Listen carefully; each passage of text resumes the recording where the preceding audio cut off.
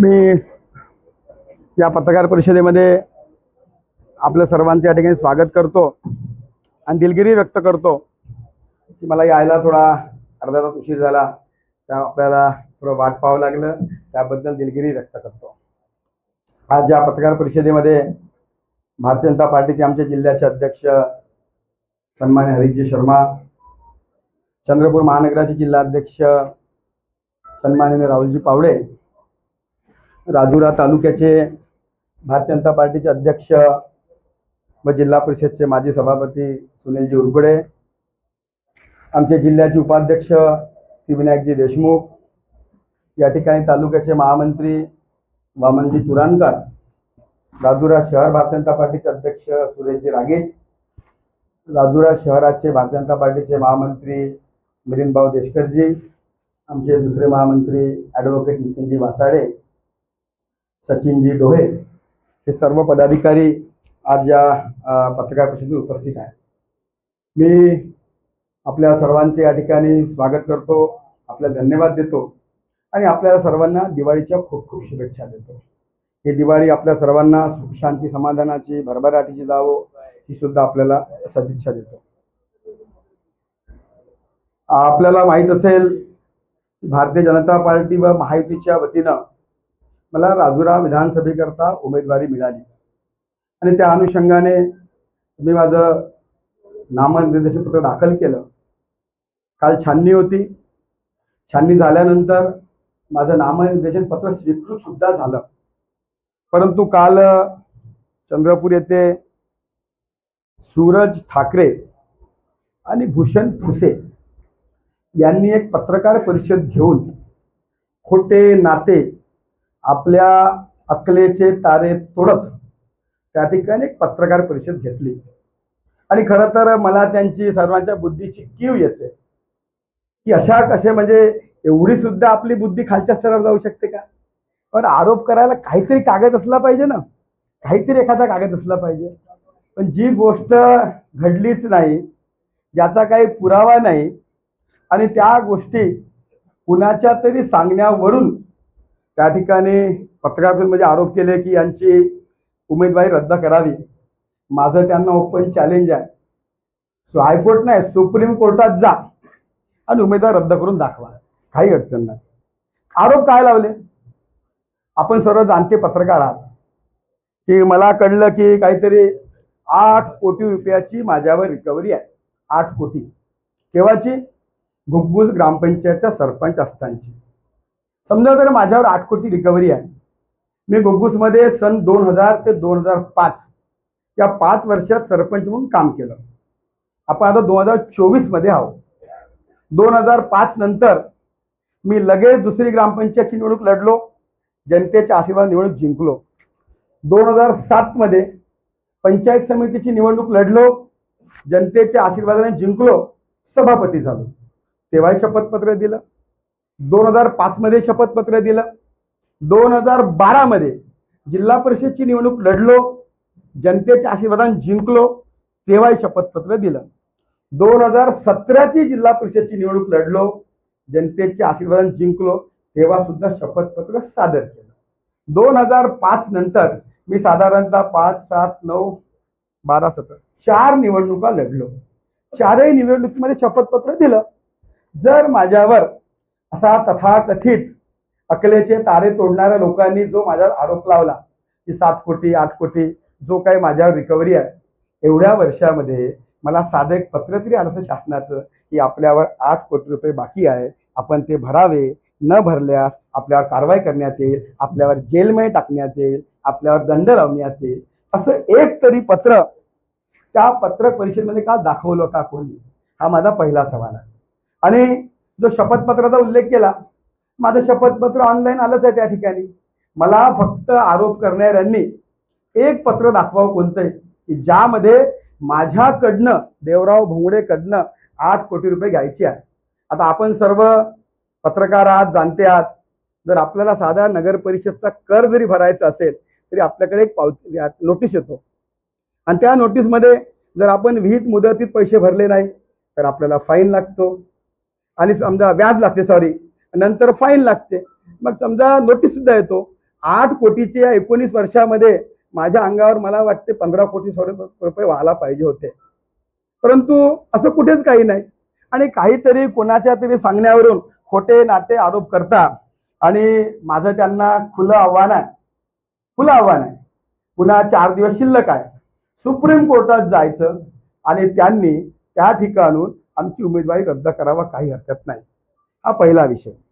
दुसरा विषय मी जेव्हापासून मला भारतीय जनता पार्टीने राजुरा विधानसभा प्रमुख म्हणून घोषित केलं मी आठ जून रोजी माझी घोषणा झाली आणि मी बारा ऑगस्टला राजुरा येथे माझे नेते माझे गुरु सुधीरभाऊ मुनगंटीवार यांच्या शुभ हस्ते सुधीरभाऊ मुनगंटीवार सेवा केंद्राची स्थापना केली आणि तेव्हापासून आजपर्यंत निरंतरपणे विविध कार्यक्रमाच्या माध्यमातून संघटना बांधणीचं काम सुरू केलं.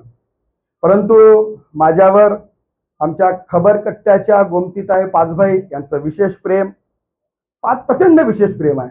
मी काही जरी केलं तरी त्यांची लगेच बातमी आधाराविना बेसलेस बातमी कोणताही आधार नसणारी बातमी त्या छापतात आणि स्वतःच्या चॅनलवरून मला प्रसिद्धी द्यायचा प्रयत्न करतात.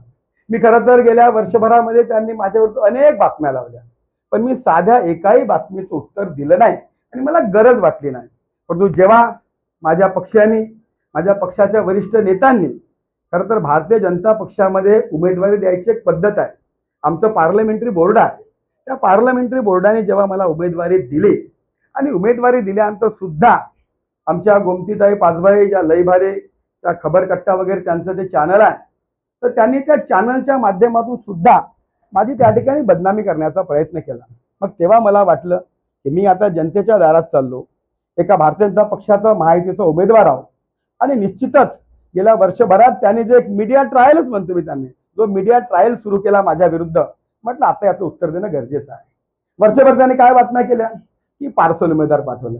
अरे मी चंद्रपूर जिल्ह्याचा रहिवासी आहे जिल्हा परिषदचा अध्यक्ष आहो. या देशामध्ये अनेक पक्षाच्या नेत्यांनी एका जागेवर दुसऱ्या जागी जाऊन येऊन लढले जिंकले. जनतेचा आशीर्वाद आहे. तुम्ही कोण म्हणणार होते आम्हाला? तुम्हाला काय अधिकार आहे म्हणायचा? जनतेने सिद्ध केलं. ऑन मेरिट लोकांनी निवडून दिलं. पण पार्सल पार्सल पार्सल एकट्याने एक चालू केलं. त्यानंतर वर्षभरामध्ये मी त्या ठिकाणी सेवा केंद्राच्या माध्यमातून अनेक सेवाभावी उपक्रम राबविले. पण प्रत्येक माझ्या उपक्रमाबद्दल त्यांनी एक नेगेटिव्ह बातमी एक खोटा नॅरेटिव्ह सेट करण्याचा प्रयत्न केला. काहीतरी एकदम भडकावं बोलायचं पण मी सुद्धा संस्कृतीला जपणारा माणूस आहो. आणि म्हणून आपणही कधी कोणाविरुद्ध बोलण्याचा मी कधी प्रयत्न करत नाही. पण त्यांच्या त्या साऱ्या बातम्या म्हणजे कधी माझ्या परिवारापर्यंत बातम्या नेल्या त्या काही खोटे नाटे आरोप लावायचे. आम्ही समजा जर त्या माझ्या कार्यालयाच्या उद्घाटनाला राजुऱ्यातील जनता साक्षी आहे. पाच हजार लोक त्या कार्यालयात उपस्थित होते. पण त्यांनी मात्र लगेच खुर्च्या खाली दोन खुर्च्या दिसल्या त्याची बातमी. आणि अशा प्रकारे त्यांनी ते खोटं नाटक सांगण्याचा प्रयत्न केला. म्हणजे एक त्यांनी सिरीजच चालवली. की कधी म्हणायचे की हे चटपांनी पाठवलेलं पिल्लू आहे. बरं त्यांचा बोलवता धनी कोण आहे? मलाही माहीत आपल्यालाही माहीत आहे. मला नाव घ्यायची काही गरज नाही. परंतु मला तशा काही बातम्यामुळे मला काही फरक पडणार नाही. परंतु आज मी उमेदवार आहो. उमेदवार असल्यामुळे याचं मला या ठिकाणी खंडन करावं असं वाटते. म्हणून मी या ठिकाणी खंडन करायसाठी आलो. पुन्हा त्या म्हणतात की जिल्हा परिषदमध्ये सुद्धा मी घोटाळा केला म्हणजे पाच कोटीचा. जिल्हा ग्रामपंचायतचा केलाच. जिल्हा परिषदमध्ये पाच कोटीचा. इथं बातमीत आहे. तो तरी कागद दाखवा कुठतरी. जा ना हायकोर्टात जा ना चॅलेंज करा ना. वसूल करा ना माझ्याकडून पैसे. काही अडचण नाही. परंतु खोटं बोलून लोकांना भ्रमित करण्याचं काम आमच्या खबरकट्ट्याच्या गोमतीताई पाचबाईंनी यांनी केलं. त्यानंतर माझा कुठे उल्लेख आला. तर माझे गुरु सुधीर भाऊ हा मुद्दाम त्यांना टार्गेट करण्यासाठी की माझ्या बातमीमध्ये नेहमी त्यांचा कुठतरी उल्लेख करायचा आणि असा दाखवायचा प्रयत्न करायचा की देवराव भुंगडे किती वाईट माणूस आहे आणि सुधीर भाऊनी चुकीच्या माणसाला संधी दिली. मी सांगतो आपल्याला वयाच्या एकविसाव्या वर्षी घोगुल ग्रामपंचायतचा सरपंच झालो. सर्वात तरुण सरपंच. त्यानंतर ग्रामपंचायतला पुन्हा दुसऱ्यांदा निवडून आलो. तिसऱ्यांदा पंचायत समिती लढलो. सभापती झालो. चौथ्यांदा जिल्हा परिषद लढलो. सभापती झालो.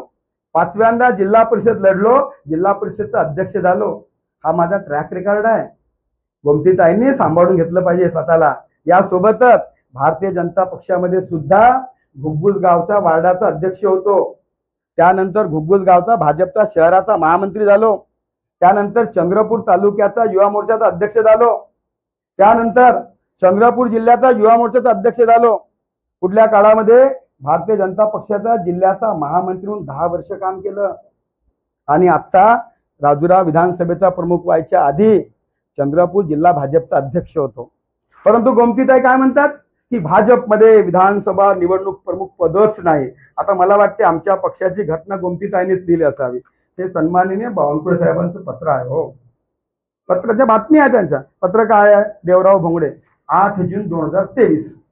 काय लिहिलं आहे श्री देवराव भोंगडे सप्रेम नमस्कार. विधानसभा निवडणूक दोन हजार चोवीस करिता आपली राजुरा विधानसभा निवडणूक प्रमुख म्हणून नियुक्ती करण्यात आली आहे. दोन हजार चोवीसच्या विधानसभा निवडणुकीत आपल्या संघटन कौशल्याने आपण ही जबाबदारी सर्वांना सोबत घेऊन यशस्वीरित्या पार पाडाल व मोठ्या मताधिक्याने विजय प्राप्त कराल असा विश्वास आहे. आता भाजपची घटना का गोमती पासबाई लिहितील का?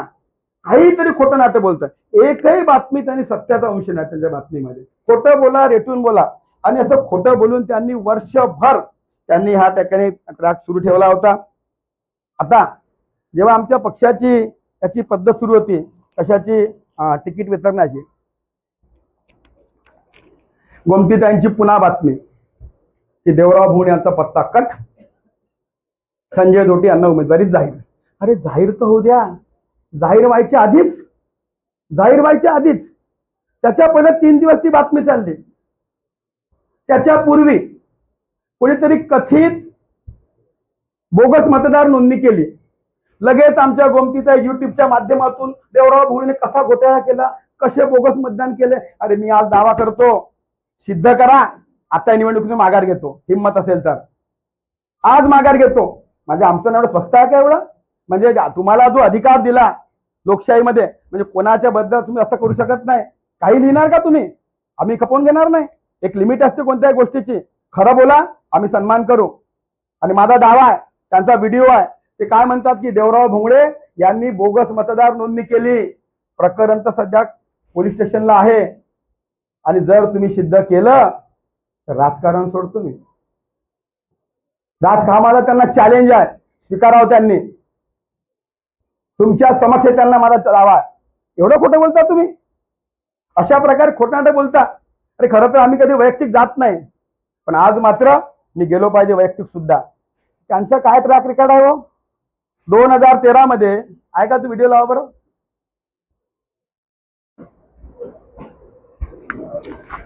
लावा बातमी लावा.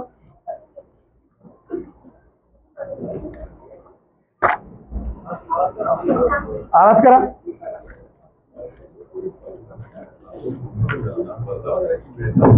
पुन्हा पहिल्यापासून लाव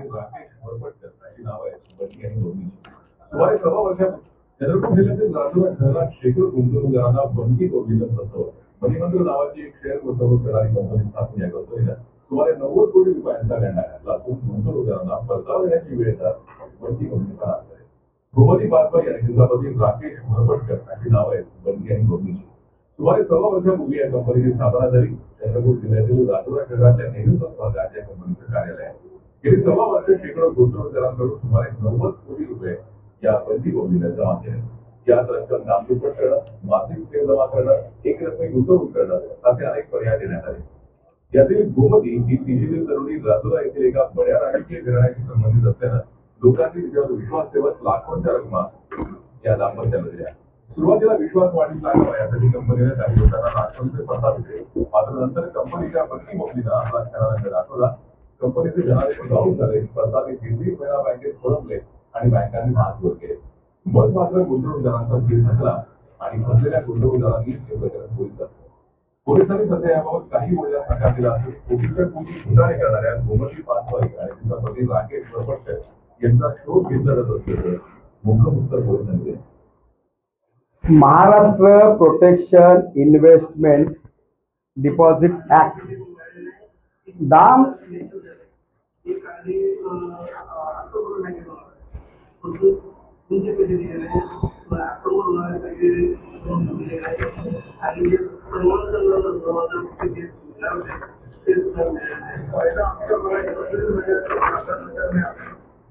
आणि नंतर जो मे महिन्यात होता, तो तिच्याकडे वारंवार हे मला प्रतिनिधी आणि आज हे उद्या हे आणि थोडी चोवीस तास Maharashtra protection investment deposit act दाम दुप्पट करण्याचं आमिष दाखवून कलम चारशे वीस कलम चारशे वीस कलम चारशे सदुसष्ट. आय पी सी चारशे अडुसष्ट अंतर्गत गुन्हे दाखल आहे. चंद्रपूर राजुरा बल्लारशाच्या कोर्टामध्ये केसेस सुरू आहेत. आणि यासोबतच खरं तर राजुरा कोरपना ज्युती भागातील जे छोटे छोटे कर्मचारी आहेत त्यांनी सी डी सी सी बँकेत लोन घेऊन या कंपनीमध्ये त्या ठिकाणी शेअर्स खरेदी केले. आणि त्या ठिकाणी सामान्य लोकांना गंडवण्याचं काम कोमतीताई पाचभाईंनी केला. एवढंच नाही. तर त्यांनी मोरवा पडोली या भागात जे काही त्यांचं शेत होतं त्या शेतामध्ये आपण प्लाट पाडतो म्हणून लोकांकडनं पैसे घेतले आणि लोकांना विक्र्या करून दिल्या नाही. हे विक्रीचे करारनामे आहे. विक्र्या करून दिल्या नाही. लोकांना फसवणूक करणारे आम्हाला सांगतील का? बल्लारशाच्या कोर्टामध्ये चेक बाउन्सच्या अनेक केसेस सुरू आहे. प्रकरण न्याय प्रविष्ट आहे. बेलवर आहे लोक. जे लोक बेलवर आहेत ते लोक आम्हाला शहाणपण सांगून राहिले. अरे आमच्यावर कोणताही गुन्हा दाखल झाला नाही. आम्ही सरळ मार्गाने काम करतो जनसेवेसाठी राजकारणात आलो. राजकारणात आदरणीय सुधीर भाऊचा गुरु आदर्श म्हणून आमचे गुरु आहेत ते. त्यांचा आदर्श डोळ्यासमोर ठेवून काम करताना जनतेची सेवेच्या भावनेतून आम्ही काम करतो. आम्ही आजपर्यंत पण आपण सुद्धा गेल्या पंचवीस वर्षापासनं माझी राजकीय कारकीर्द पाहत आहात. आपण सर्व पत्रकार सुद्धा जे साक्षी आहात. कधी मी आजपर्यंत माझ्यावर आरोप केला मी उत्तर दिलं नाही. परंतु आज मला जनतेच्या जनतेच्या आम्ही दारात चाललो आणि ज्या गोष्टी घडल्या नाही ते खोटं नाटं सांगून त्या ठिकाणी माझी जी बदनामी केली त्याबद्दल मी त्यांचं जे खबरकट्टा चॅनल आहे त्याची तक्रार सुद्धा केली आहे त्याची चौकशी सुद्धा सुरू आहे आणि लवकरच त्यांच्या विरुद्ध मी डिफेमेशन सुद्धा दाखल करणार आहोत. आणि आपल्याला मी सांगतो की मनी मंत्र फायनान्स ते आता तुम्ही बघितलं त्या ठिकाणी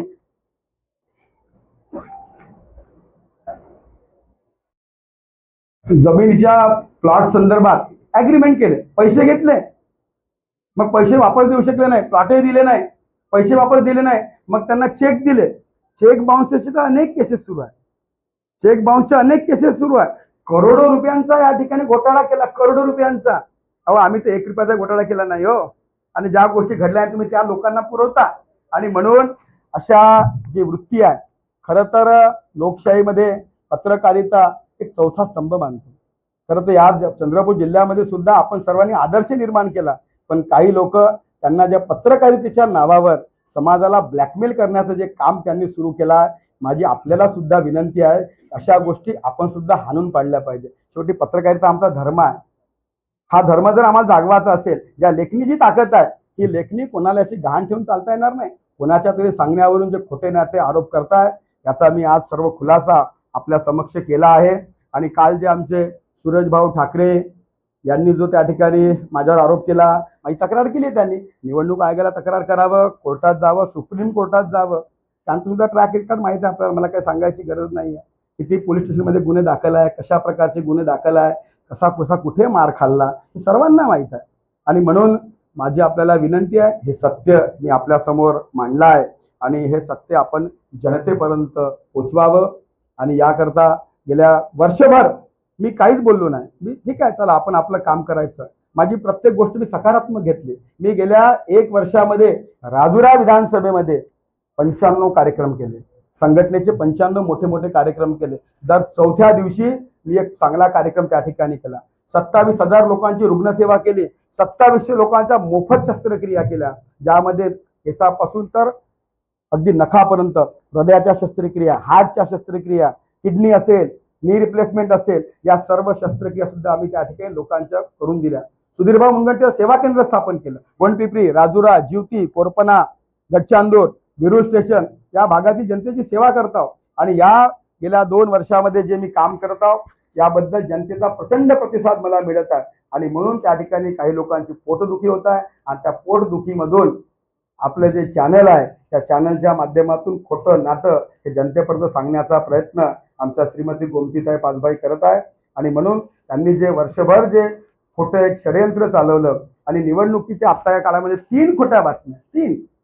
पहिली बातमी दिली की बोगस मतदार नोंदणी. अरे तुम्ही काय जज आहे का? बरं तुम्ही म्हणता भाजपची तिकीट तेवढा म्हणून नको. तुम्ही कोण म्हणणार आहे? त्या पक्षामध्ये एक यंत्रणा आहे एक पार्लमेंटरी बोर्ड आहे. तुम्ही कोण सांगणार होता? तुमच्या म्हणण्याने तिकीट ठरवणार का पक्ष? मला हा माणूस चालणार नाही. तुम्ही कोण होता? हु आर यू तुम्ही आम्हाला आमच्या पक्षाला विचारता का? या पक्षामध्ये एक मोठी यंत्रणा आहे.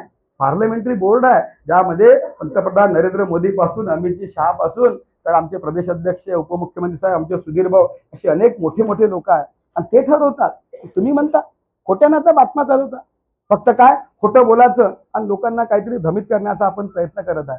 आणि म्हणून मला या पत्रकार परिषदेच्या निमित्ताने विनंती आहे त्यांना की आपण सत्य छापावं. जर तुमच्यापाशी काही पुरावा आहे बिलकुल छापा. काही हरकत नाही. मी चुकाव बिलकुल छापा.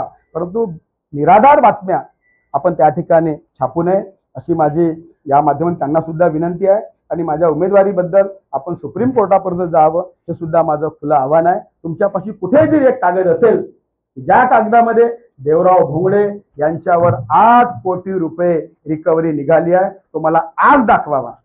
नाही तर मी सुद्धा माझ्यापाशी एक कागद आहे मग तो दाखवणार नाही. मला फक्त आरोप करणाऱ्यांचा कागद पाहिजे. खूप खूप धन्यवाद.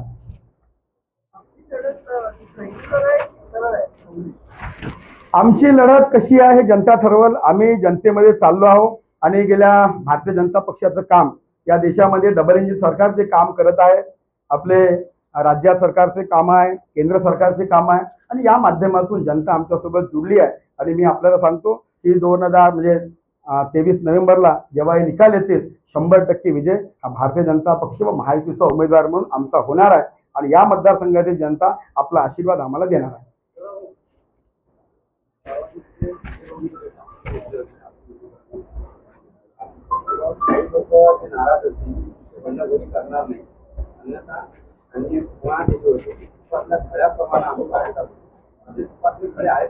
का बघा पक्षामध्ये काम करताना प्रत्येकाला तिकीट मागण्याचा अधिकार आहे. आणि तो मागितली पाहिजे यात काही दुमत नाही. पण पक्ष जेव्हा उमेदवारी जाहीर करते त्यानंतर स्वाभाविक आहे. एखाद्या माणसाला उमेदवारी मिळते एखाद्याला मिळत नाही तो नाराज असणं स्वाभाविक असते. पण भारतीय जनता पक्षाची संस्कृती आहे या पक्षातला प्रत्येक कार्यकर्ता हा अत्यंत पक्षाला डिवोशननी काम करतात. आणि म्हणून जे लोक ज्यांनी फॉर्म भरला ते सुद्धा आपला फॉर्म मागे घेतील. आणि भारतीय जनता पक्षामध्ये कुठल्याही प्रकारची बंडखोरी होणार नाही. पूर्ण पक्ष एक संघ राहून आम्ही त्या ठिकाणी काम करणार आहोत. माझं बोलणं झालं मला जेव्हा उमेदवारी जाहीर झाली मी दोन्ही माझी आमदारांकडे भेटायसाठी गेलो त्यांचा आशीर्वाद घ्यायसाठी गेलो आणि मला विश्वास आहे की आमचे वरिष्ठ नेतृत्व आणि मी सुद्धा त्यांच्याशी बोलत आहोत. ते निश्चितच आपला फॉर्म तर मागे घेतीलच पण आमच्या प्रचारामध्ये सुद्धा सक्रिय सहभागी होतील.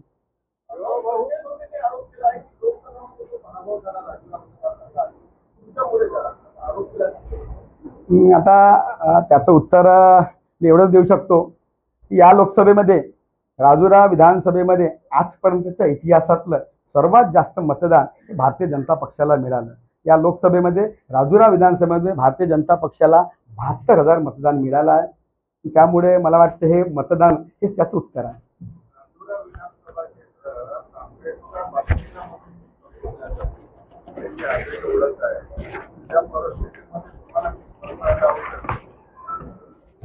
आम्ही शंभर टक्के राजुरा विधानसभा निवडणूक जिंकणार आहोत.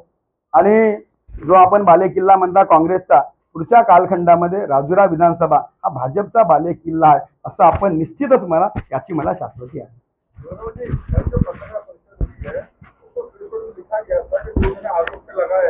आरोप माहिती अधिकार अधिनियम के अंतर्गत कागज मिले हैं?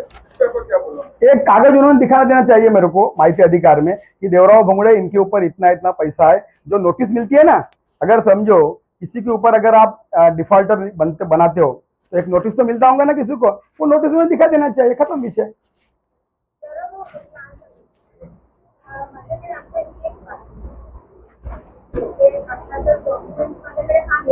दाखवा ना, दाखवा आता, बिलकुल द्या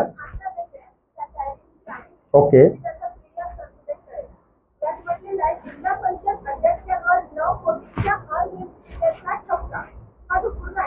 हा बिलकुल बिलकुल बोला.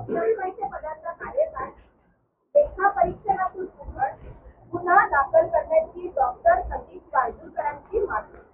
यात शेवटी असं म्हटलेलं आहे शेवटच्या दोन पॅरेग्राफमध्ये प्रशासनाने तातडीने कारवाई न केल्यास लाचलुचपत प्रतिबंधक विभागाकडे तक्रार आणि उच्च न्यायालयात याचिका दाखल करणार असल्याचे डॉक्टर वाळजूकर यांनी यावेळी सांगितले. ठीक आहे? पुढे त्यांनी केली नाही केली म्हणजे तुम्ही भ्रष्टाचाराच्या प्रकरणात सहा महिन्याच्या आत संबंधित अधिकारी पदाधिकाऱ्यांच्या विरोधात गुन्हा दाखल करण्याचे शासनाचे निर्देश आहेत. लेख लोक समितीचा बावीसावा अहवाल नुकताच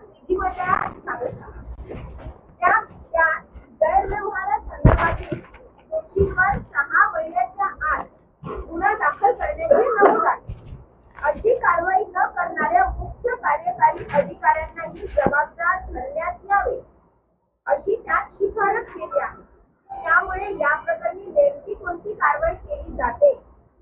सर्वांचे लक्ष लागले की ही तुम्ही पत्रकार परिषदेशी काहीतरी घेतली. सॉरी विनोद विनोद अय्यर यांनी घेतली या प्रकरणात पुढे काय झालं? तुम्हाला माहीत तुम्ही तर एकदम खोजी पत्रकार आहेत तुम्हाला उत्तर माहीत असायला पाहिजे.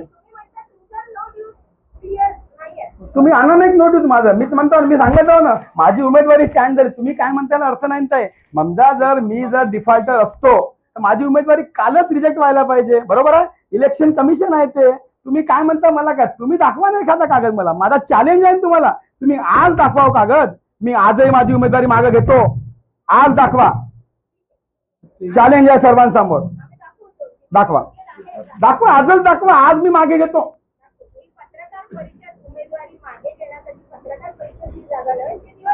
हा मग त्यांना मागा जा ना तुम्ही. निवडणूक आयोगाकडे जा.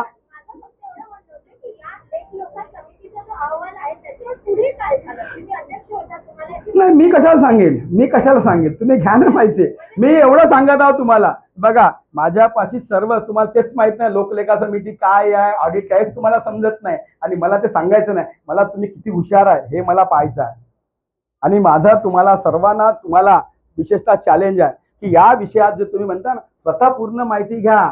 माझ्यापाशी प्रत्येक कागद आहे. त्यांना माहीत आहे माझा स्वभाव. मी बिना कागदाने काहीच करत नाही. माझ्यापाशी प्रत्येक कागद आहे. तुम्हाला ते विषयच माहीत नाही काय आहे. काहीतरी खोटं नातं एखादा विरोधी माणूस काहीतरी तुम्हाला पुरवतो सकाळ न्यूजपेपरने कसं काय छापलं? मला नाही माहीत ते. ते काय न्यूजपेपर आहे त्यांना विचारा ना मी काय सांगितलं ऑथेंटिक कागद तुमच्यापाशी असला पाहिजे ना. एक बा तिथं तुम्ही आता चार गोष्टी केल्या की नऊ कोटीचा अपार आहे. ठीक आहे? तुम्ही एक मला शासकीय कागद दाखवा. दुसरं तुम्ही म्हटलं की गुन्हे दाखल केले पाहिजे. कधीची न्यूज कधीची आहे ती? हा. मग का बरं माझ्यावर गुन्हा दाखल झाला नाही आतापर्यंत? मी तुम्ही कशा मीच तुम्हाला विचारेल ना. मी जर आरोपी आहे तर माझ्यावर गुन्हा का बरं दाखल झाला नाही? आणि मला वाटते मला वाटते दोन हजार पाच नंतर दोन हजार चौदा पर्यंत या राज्यामध्ये आणि देशामध्ये काँग्रेस पक्षाची सत्ता होती. सत्ता भाजपची नव्हती. आता तर तर तुम्हीच देऊ शकता. तुम्ही मला कसे काय विचारता? तुम्ही वाचली न्यूज. मी आरोपी आहे तुमच्या मते. गोमतीताईच्या मते देवराव भोंगडे आरोपीच्या पिंजऱ्यामध्ये आहे. तुम्ही मला कसं तुम्ही आता जज आहे. मी आरोपी आहे. तुम्ही उत्तर द्या जज मॅडम. की बा तुम्हाला अटक कधी करू म्हणून. तुम्ही उत्तर दिले पाहिजे मला आम्हाला फक्त हे तुमच्याकडनं जाणून घ्यायचं होतं याचं उत्तर आम्ही योग्य ठिकाणी देऊ. द्या द्या. अहो माझ्यापाशी लेखी उत्तर तुम्ही काय उत्तर देता मॅडम? पण मला फक्त तुमची बुद्धी कुठपर्यंत धावते. तुम्ही किती खोटे बोलता हेच मला दाखवायचं आहे. आम्ही तयार आहोत बिलकुल. आय एम ऑल्सो रेडी आणि एक शेवटचा प्रश्न मला विचारायचा आहे. तुम्ही गोमती पाचभाई यांच्यावर मणिमंत्रा फायनान्शियल या कंपनीच्या विरोधात हे सगळं केलं? तुम्हाला माहिती आहे का चंद्रपूर जिल्ह्यातील मूल या ठिकाणी एक शांती पुण्य सॉल्वंट नावाचा एक घोटाळा झाला होता. त्याबद्दल काही कल्पना आहे का तुम्हाला? तर बघा ही पत्रकार परिषद देवराव भोंगडे या विषयावर आहे. देवराव भोंगडे संदर्भात उत्तर देईल. मला वाटते तुमच्या कोणत्याही प्रश्नाचं उत्तर द्यासाठी मी बांधील नाही. माझ्यावर जे तुम्ही गेल्या वर्षभरापासून मीडिया ट्रायल चालवत आहे त्याचा मी खुलासा देत आहो. आणि त्याच्याबद्दल तुम्ही विचार मी पूर्ण सांगतो तुम्हाला.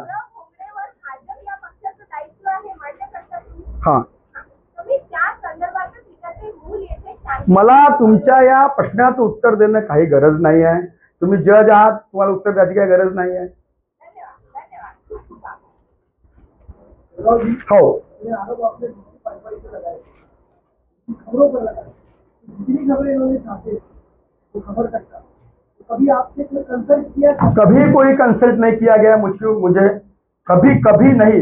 मन गडंत यानी कुछ भी होता है राजूरा में। देवराव भोंगड़े का नाम खबर कट्टा में आना ही है। उन्होंने सुपारी ली है मेरे नाम की और इनका मराठीमध्ये मला बोले धनीपणा मला ते सुद्धा माहित आहे। पण मी काय मैंने साल भर मैंने बिल्कुल ख्याल दिया नहीं। क्या छापना है, मैं तो उनकी न्यूज़ पढ़ता भी नहीं। मेरे को भेजती वो। मैं खोलता तक नहीं और मेरी आदत है। मैं ये देखता भी नहीं। लेकिन जब कल इन्होंने सनसनी फैलाने की कोशिश की, मुझे अपने से कुछ पत्रकारों को फ़ोन आए तो मुझे उन्होंने सलाह दिया कि आपने प्रेस लेनी चाहिए। इनको सबको मालूम है, और शायद मेरे ख्याल से किसी ने वो न्यूज़ भी नहीं छापी है। इनको सबको मालूम, लेकिन कुछ लोगों का कहना है कि नहीं, इसमें आपने कुछ बताना चाहिए। इसलिए मैं आ जाया नहीं तो मैं, मेरे खिलाफ कितने आप ट्रेन चलाते, मुझे कोई फ़र्क नहीं गिरता। मैं जनता के लिए काम करता हूँ, जनता के दरवाजे पे जा रहा हूँ। मेरी जो रैली थी परसों नॉमिनेशन की, वो पूरे राजूरा शहर ने देखी, पूरे विधानसभा ने देखी, ऐतिहासिक रैली देखी। और मुझे इन्होंने क्या चलाए उससे कोई फ़र्क नहीं गिरता। लेकिन मुझे कुछ मेरे पत्रकार मित्रों ने बताया कि आपने इसके ऊपर अपना स्टैंड बताना चाहिए। तो कल जो मेरे ऊपर जो जो बात कागज़ पे ही नहीं है, मैं और आपको खुला चैलेंज कर रहा हूँ। मेरे को कैसा भी एक कोई कागज़ लाके दो, जिसमें देवराव टू देवराव भोंगड़े, आपके ऊपर ग्राम पंचायत के अपार अनियमितता के आठ कोटी रुपए बकाया है, आपको पैसा भरना है। ऐसा मेरे को कुछ भी कागज़ किसी ने भी दिखाना चाहिए। इसलिए मेरे को लगा कि आज मैंने पत्र परिषद लेनी चाहिए। और मुझे मालूम है, ये पूरी जानकारी किसने दी, कहाँ से दी, इन्होंने किसको दी, इन्होंने किसको दी, मुझे ये भी मालूम है। मुझे क्या, मैं पच्चीस साल से राजनीति हो जी भैया। मैं पच्चीस साल से गाँव के सरपंच से लेकर जिला परिषद अध्यक्ष तक गया हूँ। अभी विधानसभा लड़ रहा हूँ। पार्टी ने मुझे बहुत बड़ा दायित्व दिया। वार्ड में, वार्ड अध्यक्ष से मैंने काम शुरू किया, ज़िले के अध्यक्ष तक मैं पहुँचा हूँ। हमारे भी, हमको भी चाहने वाले लोग हैं। ठीक है, गिने चुने चार पाँच लोग हमारे दुश्मन हो सकते हैं, लेकिन उनकी पहुँच कहाँ तक है? कौन किसको इनको कौन सप्लाई करता है? मुझे पूरी जानकारी है। कौन इनको जानकारी दे रहा है? अरे उसको ही मालूम है जानकारी देने वालों को। जानकारी देने वालों को ही सच मालूम नहीं है। अच्छा लेखा परीक्षण क्या है? मालूम है क्या इनको? इनको भी मालूम लेखा परीक्षण क्या है? लेकिन मैं बताना भी नहीं चाहूँगा क्योंकि और ये है।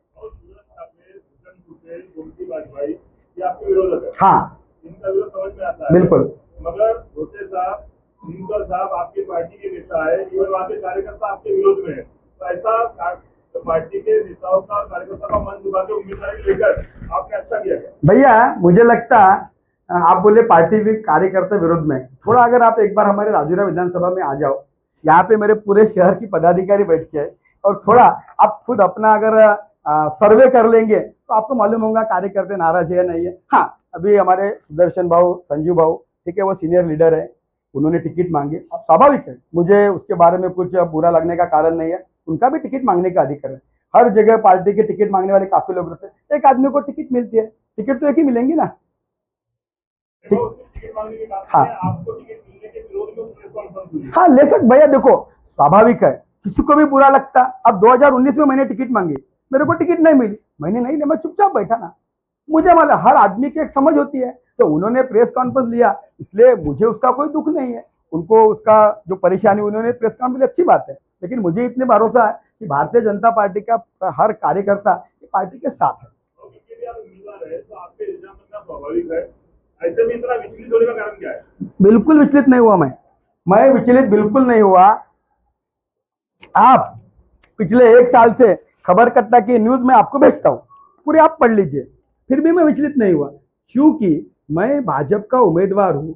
कल मेरे उम्मीदवारी के बारे में आपको भ्रमित फैलाने, भ्रमित करने वाली खबरें फैलाई गई। तो मुझे उसको उत्तर देना ज़रूरी है ना? मैं लोगों के मंदिर में, लोगों के दरवाजे पे जा रहा हूँ मत मांगने के लिए। तो मुझे तो बताना पड़ेगा ना। अब मैं, अब आपका कहना ऐसा है क्या? हमारी गोमती तो कुछ भी छाप देंगे। मैंने सह नहीं करते रहने का। अब बोलो, राय नायडू जी, वैसा भी तैयार है, मुझे कोई प्रॉब्लम नहीं। एक आरोप लगाया था काफ़ी प्रस्ताव है। सही समय पे सही जगह प्रस्ताव पहुँच जाएगा।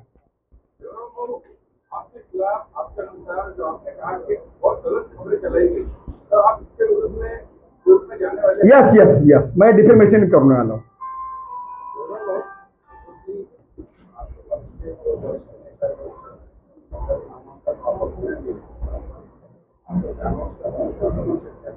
एक तो पहली बात भैया, हमारे वो नेता है, वो अपना नामांकन वापस ही लेने वाले हैं।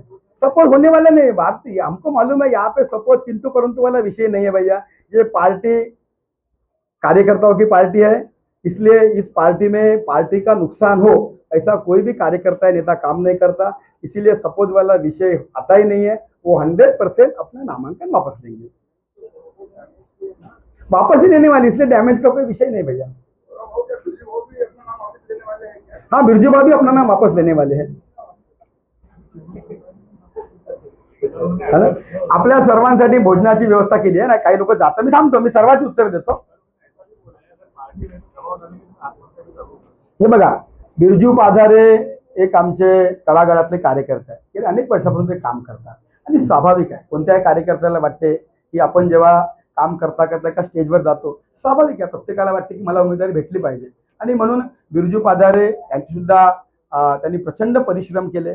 आणि त्यांना आम्हालाही वाटत होतं की ते आमचे उमेदवार राहतील म्हणून. पण शेवटी पक्षाचा जेव्हा निर्णय होतो तो बरेचदा निर्णय आमच्या कार्यकर्त्यांना मनाविरुद्ध होते.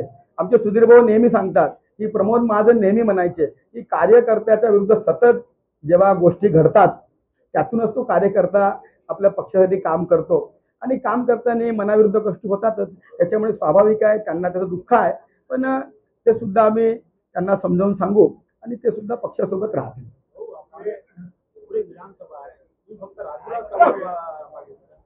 मी मागितलं म्हणण्यापेक्षा पार्टीने मला राजुरा विधानसभा दिली आहे. आमच्याकडे माग खर तर अपक्ष उमेदवारांचा जो आरोप आहे तो निराधार आहे. या ठिकाणी निवडणूक आहे की स्वतंत्र यंत्रणा आहे. आणि मी ज्याचा आणि आरोप लावला त्या आरोपाला काही अर्थच नाही आहे असा कोणताही आजपर्यंत मला गेल्या पंधरा वर्षामध्ये शासनामार्फत अशी अशी रक्कम आपल्याला भरायची आहे असा कोणताही साधा नोटीस सुद्धा आला नाही. परंतु काही लोक चुकीच्या माहित्या घेऊन चुकीची माहिती आपल्यापर्यंत पोहोचवण्याचा प्रयत्न करत आहे. दोन हजार पाच पासून मी चारदा निवडणुका लढलो आणि प्रत्येक निवडणुकीमध्ये अफिडेव्हिट दिले आणि आजपर्यंत मला शासनाच्या वतीनं की माझ्यावरचा आरोपच नाही आहे परंतु काही लोक मुद्दाम मला बदनाम करण्याच्या हेतूने खोट्या बातम्या पसरवत आहे. आणि याबाबतच परिणाम म्हणजे काल अपक्ष उमेदवारांनी माझ्याबद्दल जे सांगितलं आहे. मी त्यांना सांगतो तुम्ही सुप्रीम कोर्टाचा चॅलेंज करा एक तरी कागद दाखवा.